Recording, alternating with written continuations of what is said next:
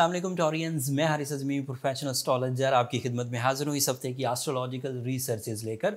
मुझे अगले सात दिनों की एस्ट्रोलॉजिकल इवेंट्स की डिटेल बहुत तेज़ी से आपकी खिदमत में पेश करनी है। तीन मेजर इवेंट है। सात दिनों में तीन इवेंट्स का मतलब ये है कि ये सात दिन काफ़ी मसरूफ़ रहने वाले हैं आपके। पहले उसकी टेक्निकल साइड बयान कर देता हूँ ताकि जो लोग एस्ट्रोलॉजी को बहुत अच्छे अंदाज से जानते हैं, वो समझ सकें। एंड देन फिर आम फहम के लिए भी जो जो मुझे आम फैमिली सुनती हैं, उनके लिए भी उसे आसान करके बयान करूँगा। पहली खबर मेरे पास है तेईस अगस्त को सूरज आपके फिफ्थ एंगल पर आ जाएगा। ये साल में पहली दफ़ा हुआ है और आखिरी दफ़ा होगा। तीस दिन तक अब सूरज आपके फिफ्थ एंगल पर रहेगा। इसकी वजह से बहुत सारे बेनिफिट हैं, अभी तफसील बयान करूँगा। मरकरी आपके 24 अगस्त को छठे एंगल पर चला जाएगा। एंगल्स का मतलब है a new type of performance of a planet जैसे सूरज आप फजर में सूरज का एक एक दौरानिया है, फजर का दौरानिया, फजर से लेकर आठ, नौ बजे तक। वो क्या करेगा? आप उसे एक एंगल डिक्लेयर कर दें। जैसे फ़र्स्ट एंगल लेट सपोज़ पहला घर। जैसे 12 बजे सूरज क्या करेगा? ये आप उसे एक एंगल डिक्लेयर कर दें कि 12 बजे लेट से तीसरा घर। शाम में क्या करेगा? हमने उन एंगुलर और उसके बिहेवियर को रियलाइज़ करने के लिए एंड आम फहम बनाने के लिए उसे एक एंगुलर आइडेंटिफिकेशन दे दी। जैसे सूरज जब फिफ्थ एंगल पर होगा तो क्या कर सकता है? जैसे आपके यहाँ पूछा जाए कि शाम में क्या होता है? अमूमी तौर पर क्या होता है? शाम में कैसा बिहेव करती है? तो आपको वो पता होगा कि शाम क्या है। इसी तरह हमें एंगल्स के अतबार से पता होता है कि सूरज अगर पाँचवें एंगल पर हो तो क्या करेगा? मरकरी अगर छठे एंगल पर हो तो क्या करेगा? These are only the identification of angles so Mercury six angle पर बहुत कुछ करने वाला है। अभी तफसील बयान करूँगा। And the third technical news is कि नया चाँद होगा और उसी एंगल पर होगा जिस एंगल पर सूरज है 28 अगस्त को। दुनिया में 27 अगस्त को हो जाएगा, पाकिस्तान में एक दिन बाद होता है as you know South Asian countries में। तो बहरहाल वो भी आपके सिक्स एंगल पर होगा। इन तीन खबरों में, और फिर पिछले हफ़्ते जब आपके लिए मार्स अच्छे एंगल पर आ गया था, जब वीनस अच्छे एंगल पर चल रहा है तो ये एक बेहतरीन सीज़न है। टॉरियन नेचर को फुलरश करने के लिए ग्रोथ देने के लिए, आसाइश पैदा करने के लिए इमोशनल बूस्टर के लिए कंसंट्रेशन के लिए डिसीज़न पावर के लिए पर्सनालिटी इन्हांसमेंट के लिए मल्टीटास्किंग के लिए एंड अपने मिशंस को फुलफिल करने के लिए। वन बाय वन बयान करता हूँ। Your ruling planet Venus at the moment आपके फोर्थ एंगल पर है।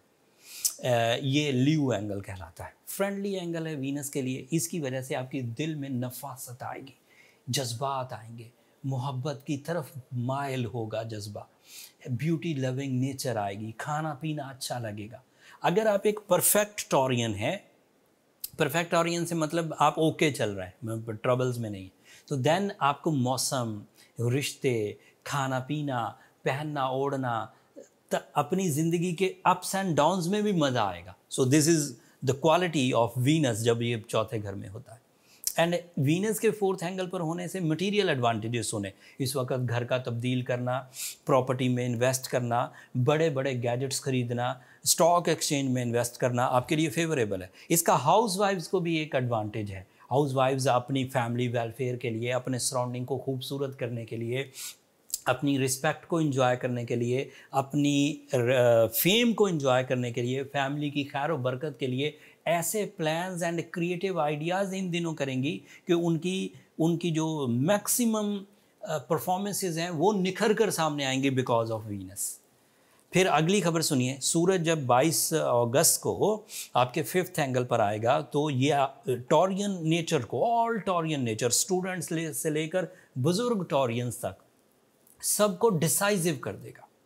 ऐसा डिसीज़न जो आप पहले डरते थे लेने में, जो आप डिसीज़न लेना चाहते थे, लेकिन पीछे से कोई गम, कोई खौफ, कोई ज़िम्मेदारी, कोई पाँव में बेड़ियाँ पड़ी रहती थीं और आप डिसीज़न नहीं ले पाते थे। जैसे ही सूरज आपके पाँचवें घर में इंटर होगा you feel the courage you feel the discipline you feel the वो क्या कह सकते हैं, वो जो लीडरशिप क्वालिटीज़ होती हैं, जिससे बंदा डिसाइजिव नेचर से आगे बढ़ता है। ग्रे एरिया से हटेगा, करूँ कि ना करूँ करूँ तो ऐसा ना हो जाए।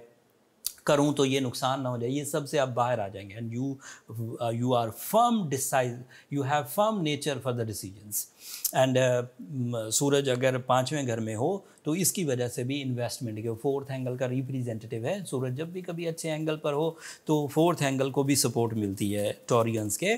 And fourth angle is your comfort of life your emotional satisfaction your spiritual levels your dutifulness your beautifulness. ये सब चीज़ें भी ग्रोथ में जाएँगी सूरज के 22 अगस्त को आते हैं। सो so, सूरज के फिफ्थ एंगल पर आने से ये जो साइड एडवांटेजेस हैं investments stock exchange comfort of life and इस तरह के एडवांटेजेस भी आपको मिलेंगे। अब दूसरी खबर है वो ये कि मरकरी आपके यहाँ लिब्रा एंगल पर आ जाएगा। ये आपके लिए गैर मामूली सिचुएशंस पैदा करेगा। ये आपका सिक्स एंगल है। मरकरी के छठे एंगल पर होने से जहनी सेहत, दो तरह की सेहत है।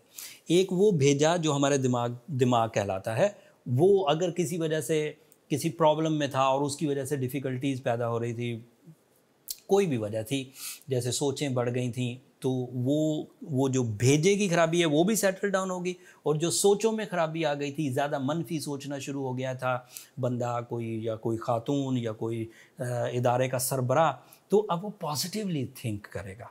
उसकी थिंकिंग में से डर जाता रहेगा, गम ख़त्म होंगे, शिकायतें ख़त्म होंगी। एंड फिर उसके पास क्रिएटिव आइडियाज़ सॉल्यूशंस के तौर पर, चीज़ों के हल होने के तौर पर सामने आएँगे। जब सोल्यूशंस मौजूद होते हैं तो फिर कंप्लेंट्स पीछे रह जाती। फिर इसकी वजह से मुआफ़ कर देने वाली सलाहियत, इसकी वजह से कुर्बानी देने की सलाहियत, इसकी वजह से रवैयों में सॉफ्टनेस इसकी वजह इसकी वजह से पब्लिक इमेज का अच्छा होना, लोगों का आपके बारे में राय अच्छी कायम करना, आपका खुद क्रिएटिव होना, आपका खुद जीनियस होना दिस इज़ पॉसिबल और मरकरी अगर अच्छा हो तो आपके सेकंड हाउस का रिप्रेजेंटेटिव है। एंड यू नो सेकंड अगर मरकरी अच्छा हुआ तो सेकंड हाउस फ्लरिश करेगा। एंड सेकंड हाउस का means source of income job increments promotions पैसे में खैर और बरकत एंड मल्टीटास्किंग फिर ये आपके पाँचवें घर का भी रिप्रेजेंटेटिव है। मरकरी जब भी कभी अच्छा होता है तो इसकी वजह से जो कम्युनिकेशन स्किल्स हैं, जो डॉक्यूमेंटेशन स्किल्स हैं जो पब्लिक एक्टिविटीज़ हैं जो तकरीरी एबिलिटीज़ हैं वोकल एबिलिटीज़ वो मैजिकल हो जाती। एंड उसके मैजिकल होने से अलग तरह के एडवांटेजेस मिलते हैं। मटेरियल भी स्पिरिचुअल भी रिस्पेक्ट के भी फेस वैल्यू के भी एंड अदरवाइज़ um, जैसे आपकी जो बुजुर्गी है आपकी जो जीनियसनेस है ये जैसे जैसे एज के साथ अगर कोई लड़का सा जीनियस बात करे तो उसे सिर्फ़ अक्लमंद कहते हैं। बट जैसे मेच्योर एजेस में कोई बंदा जीनियस बात करेगा तो उसे बुज़ुर्ग कहते हैं। सो so, वो जो बुज़ुर्गी वाला पहलू एबिलिटी से जिसमानी को वो नहीं कि कमर झुक गई है और बाल सफ़ेद हो गए वो वाली बुज़ुर्गी नहीं।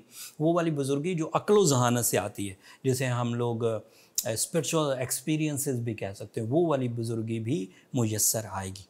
एंड मार्स आपके लिए आपके सेकंड एंगल पर है। दिस इज़ अदरवाइज़ आपके लिए बहुत प्रोडक्टिव है। मार्स अगर सेकंड एंगल पर हो तो दुश्मनों पर फतह हासिल कर सकते हैं, अपने गमों पर फतह हासिल कर सकते हैं, अपने डर को बीट कर सकते हैं, अपनी करेज इन्हेंस कर सकते हैं। And it Mars is representative of your life partnership अगर कोई डिले ऑफ़ मैरिज का शिकार था, कोई टॉरियन मेल या फीमेल अगर कोई सेरेमनीज लेट हो रही थी due to some reason resources नहीं थे प्लान्स नहीं थे लक नहीं थी तो now Mars is on very productive angle जहाँ से आप अपने लाइफ पार्टनरशिप डिसीज़न सक्सेसफुली ले सकेंगे एंड प्रॉपरली परफॉर्म कर सकेंगे। इन सात इन uh, कम अज़ कम पाँच प्लानट एक एक रह गया। नया चाँद आपके यहाँ फिफ्थ एंगल पर होगा वर्गो एंगल पर अट्ठाईस अट्ठाईस अगस्त को। तो नया चाँद अगर फिफ्थ एंगल पर हो तो ये अलग से रोमांटिक करेगा आपको। है तो सवा दो दिन का ही इवेंट नया चाँद किसी एक एंगल पर सवा दो दिन रहता है। फिर वो बढ़ता रहेगा, अगले एंगल्स पर जाएगा। लेकिन अगर वो फिफ्थ एंगल पर स्टार्ट हुआ है तो इट मीन्स के this is a new type of emotion for your romance नए तरीके रोमांस के आपको सूझेंगे, नए जज्बात, नई वॉम स्किल्स नई attachments and strong commitment strong bondings create होंगी। तो ये अलग से मुफ़्त में फ़ायदा है जो आप दुकानों से बाय नहीं कर सकते, जो हुकूमतें आपको नहीं दे सकती, जो आप खुद भी क्रिएट नहीं कर सकते। नेचर दिन तलू करती है तो आप यूज़ कर सकते हैं। आप दुकान से बाय नहीं कर सकते, हुकूमत से रिक्वेस्ट नहीं कर सकते, खुद ज़ोर नहीं लगा सकते कि मैं दिन तलू कर दूँ। नया चाँद हो तो ये नेचर कर रही है। किसी के हुक्म पर, किसी के रूल्स को फॉलो कर रही है, आप नहीं कर सकते। तो जो चीज़ आप नहीं कर सकते और मैसर आ जाए, ये नेमतें कहलाती हैं। तो इन नेमतों का शुक्र भी अदा करिए, लेकिन इन नेमतों को सही अंदाज से ज़िंदगी में इस्तेमाल भी करिए। दिन हो गया है तो दिन को यूज़ करेंगे तो बेनिफिट मिलेगा। अगर अदर, अदरवाइज़ दिन और रात की तमीज़ आपके लिए क्या है? आप तो दिन को यूज़ ही नहीं कर रहे। अगर दिन में भी आपने सोना है, रात में भी आपने सोना है तो दिन और रात आपके लिए क्या? मैं कितना भी बयान करता रहूँ कि दिन अच्छे हैं, कितना भी बयान करता रहूँ गोल्डन सीज़न है, कितना भी बयान करता रहूँ इस वक्त लकी डेज़ हैं, जब आपने इस्तेमाल ही नहीं करने तो बेकार है, फिर भी वीडियो देखना भी बेकार। बट अगर आपको टाइम की अहमियत का अंदाज़ा है, अगर आपको ये बात पता है कि वक्त कितनी कीमती चीज़ है दैन ये वीडियो आपके लिए बड़े काम की होगी। इसमें सब technical sides spiritual and time behaviour सब आपको पता लग जाएँगे। सैटर्न एंड जुपिटर की रेटोग्रेशन तंग नहीं कर पाएगी स्ट्रॉन्ग टॉरियंस को बिकॉज़ uh, जो शॉर्ट टर्म प्लानट्स हैं वो पूरी तरह हर सेक्टर में फ्लो ऑफ़ फ्यूल प्रोड्यूस कर रहे हैं। तो तंगी नहीं है। लेकिन अगर आप इनमें से किसी एक सेक्टर में भी ड्राई हैं कमज़ोर हैं या आपने कमज़ोरी पैदा कर ली है या इंसिडेंट हो गया आपके साथ जैसे सेहत के मामला हैं, पिछले दिनों मैं बीमार रहा, बीमार होना एक नेचुरल फ्लो है, कोई गलत चीज़ खा ली, कुछ गलत हो गया तो दैट मीन्स गोल्डन सीज़न का कोई एक सेक्टर कमज़ोर पड़ जाएगा। उसको फिर आपको मैनेज करना होगा आर्टिफिशियली अगर आर्टिफिशियली सिचुएशंस को मैनेज करना हो for the Taureans emerald is the ideal stone जो फ्रेंडली बिहेव करता है टॉरियन फितरत के साथ। रिप्लेसमेंट के तौर पर रूबी पहन सकते हैं, अगर एमरल्ड मुयसर ना हो। आठ से दस कैरेट पहनना इफ़ेक्टिव पोटेंसी है और अच्छे रिजल्ट्स देता है। एंड साथ में सूर्य शम्स पढ़ना बेहतरीन स्पिरिचुअल बूस्टर के तौर पर सामने आता है, जो खैर और बरकत लाता है। उधर से साइंटिफिक रेमेडी हो गई, इधर से स्पिरिचुअल रेमेडी हो गई, दोनों से मिलकर चीज़ें ठीक हो जाती। बट अगर कोई टॉरियन ऐसा है जो ये सब कर रहा है, लेकिन फिर भी ठीक नहीं हो रहा तो देन उसे अपने पर्सनल कैलकुलेशंस की तरफ़ जाना चाहिए। ये एस्ट्रोलॉजिकली बेसिक डायग्नोसिस सिस्टम है। जिससे ये बातें पता चल जाती हैं कि where is the problem and how to resolve उसके लिए नंबर नीचे चलते रहते हैं, आप इन पर रबता करके अपने लिए टाइम ले सकते हैं बट वो फ्री फोरम नहीं है टॉरियंस होपफुली आप अंडरस्टैंड करेंगे। That's all from my end मैंने इस हफ़्ते जितनी भी तफसील मेरे सामने आई कैलकुलेशंस के दौरान मैंने आपकी खिदमत में अपने टिपिकल अंदाज से बयान की। अगर मेरी ये कोशिशें, अगर मेरी ये काविशें आपको अच्छी लगी हों, आपको बर वक्त आस्ट्रोलॉजिकल इवेंट्स के बारे में अवेयरनेस इतना सा भी फ़ायदा दे तो अपनी दुआओं में मुझे और मेरी टीम को ज़रूर याद रखिएगा टॉरियंस आपकी दुआएँ मेरे लिए बहुत कीमती है, दुनिया के लिए भी, आखरत के लिए भी। और ये बात मैं एलानिया हर वीडियो के एंड पर कहता। चैनल को सब्सक्राइब करना भी मत भूलिएगा, आपकी सब्सक्रिप्शन बहरहाल हमारी हौसला अफजाई की वजह बनती है। आपकी हौसला अफजाई जो है, वो हमें आपकी मोहब्बत की तरह, आपकी तरफ़ खींच कर लेकर आती है। अगले हफ़्ते तक के लिए मुझे इजाज़त दीजिए, अल्लाह ने के बाद